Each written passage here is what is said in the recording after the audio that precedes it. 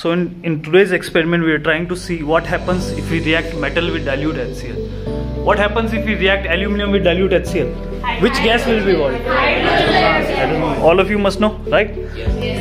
So start the experiment guys. Take some aluminum foil. Break them into small pieces. Add them in this test tube.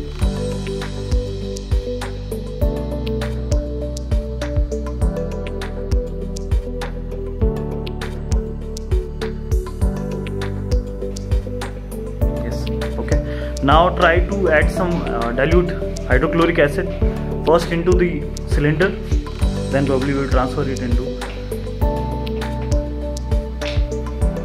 this is dilute HCl they have taken.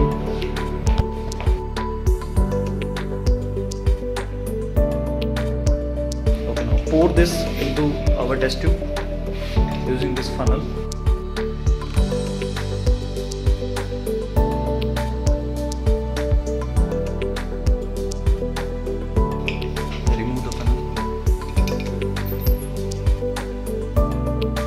observe what is happening inside this tube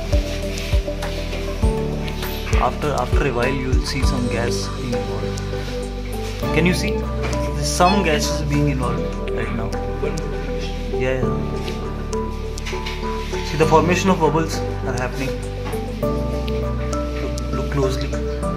Everyone uh, one by one just one by one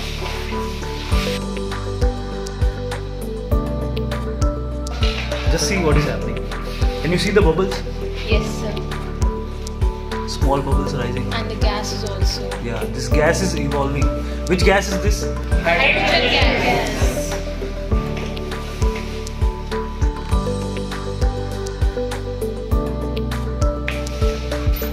what is your observation can you see some some gas being evolved Yes. some bubbles Yes, sir. some bubbles formation Bubbles are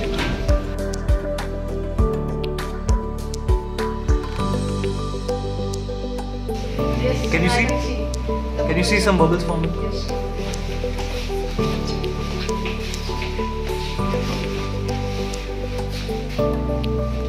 sir. Yeah, can you see? Now? Yes. now one of you close this. Put put, put your thumb for for a while can you see it's, it's, it's the color is changing right now Yes. yeah it's Yes. very milky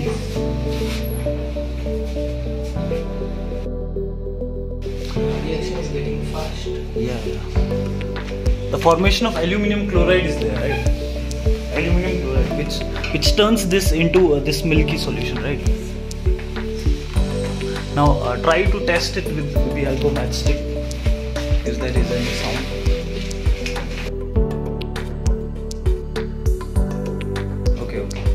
Leave it, leave it. Close it with your thumb once again. Only remove when he uh, fires the match. Can you see this is very very milky solution?